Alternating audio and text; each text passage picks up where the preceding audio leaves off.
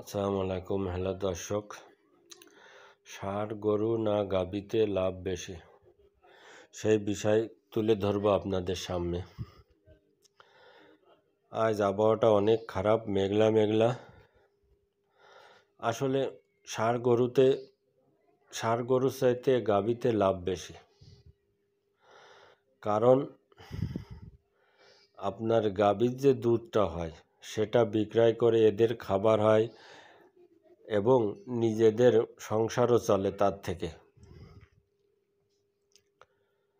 তারপরে বছর শেষে আপনি যে একটা বাছুর পাবেন, এই যে একটা বাছুর আমার, এটা ছয় সাত মাস গেলেই আপনি ভালোভাবে যদি ওর দুধ খাওয়ান, তাহলে আর আল্লাহ যদি ওর বাঁচায় রাখে, তাহলে ইনশাল্লাহ ওই গরুটা আপনার এক লাখ টাকা বিক্রয় করা যাবে। সেই হিসেবে আমি মনে করি গাবিতে লাভ বেশি।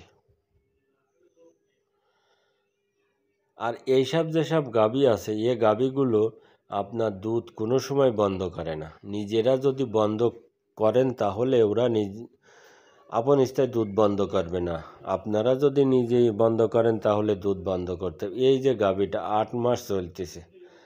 দুধ বন্ধ করার অনেক চেষ্টা করতেছি, হচ্ছে না। খাবার দাবার একদম শুকনো খড় দেওয়া হচ্ছে, তাও বন্ধ হচ্ছে না। তারপরেও চেষ্টা চালাই যাচ্ছে। একটা গরু বাছুর দিয়েছে।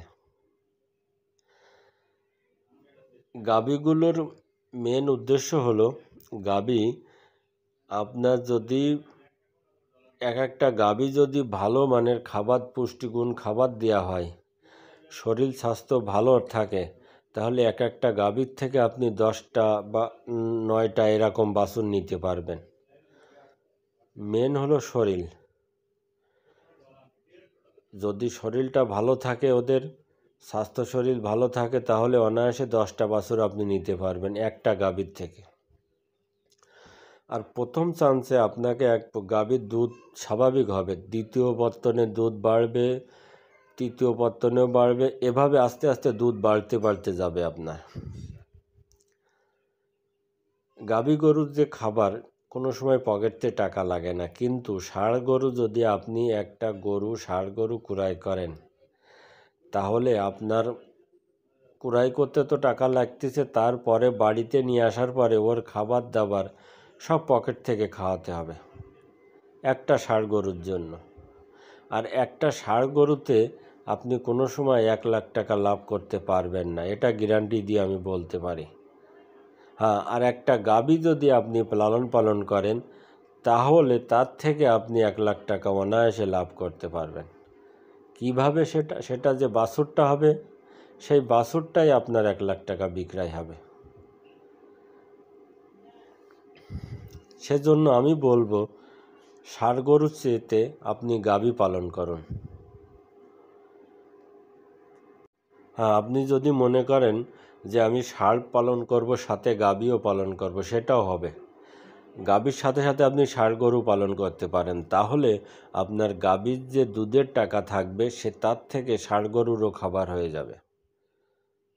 কারণ ষাঁড় ষাঁড় গরু আপনার ভাতে যাও খাওয়ানো হয়, তারপরে দানাদার খাবার, এসব সবগুলো খাবার দেওয়া হয়। কিন্তু গাবিতে যেসব গাবি যখন দুধ বন্ধ হয়ে যায়, তখন এদেরকে আপনার দানাদার খাবার দেওয়া লাগে না। শুধু কাঁচা ঘাস আর খড় দিলে হয়, চলে। কেননা আমি লালন পালন করি, সেজন্য আমি এটা আপনাদের সামনে তুলে ধরতেছি।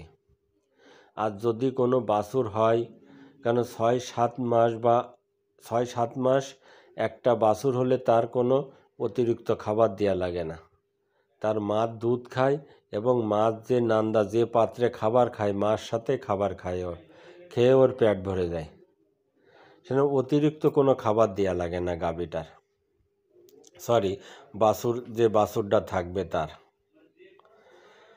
সেই জন্য বলি আমি যে আপনারা যদি গাবি পালন করতে চান, তাহলে অবশ্যই গাবি পালন করবেন। কেননা, অল্প পুঁজি যাদের, তারা গাভী পালন করবেন। কেননা, তার থেকে যে দুধের টাকা হবে, সেটা দিয়ে আপনার গাভীর খরচ হয়ে যাবে এবং আপনার কিছু না কিছু সংসার খরচের টাকাও বের হয়ে আসবে এই গাভীর থেকে, দুধের টাকায়। আর বছর শেষে আপনি যে বাছুরটা বিক্রয় করবেন, সেটা অনেক লাভ, লাভবান হতে পারবেন। পাঁচটা চারটে বা তিনটে গাভী থাকলে প্রতি বছর তিনটে বছর। তাহলে গরু বাড়তে কত সময়? সময় লাগবে না। কিন্তু ষাঁড় গরু থাকলে আপনি তিন, চার মাস একদম পকেটতে খাওয়াতে হবে। কেউ তিন মাস খাওয়ায়, কেউ ছয় মাস, কেউ কুরবানির সময় বিক্রয় করে। এভাবে গাভী এসে ষাঁড় গরু পালন করে। কিন্তু আমার মতে, আমি মনে মনে করি গাভীতে লাভ বেশি ষাড় গরুর চাইতে। আমার এই ভিডিও ভালো লাগলে অবশ্যই সাবস্ক্রাইব করবেন লাইক ও শেয়ার করবেন কমেন্ট করে জানাবেন। খুদা হাফেজ।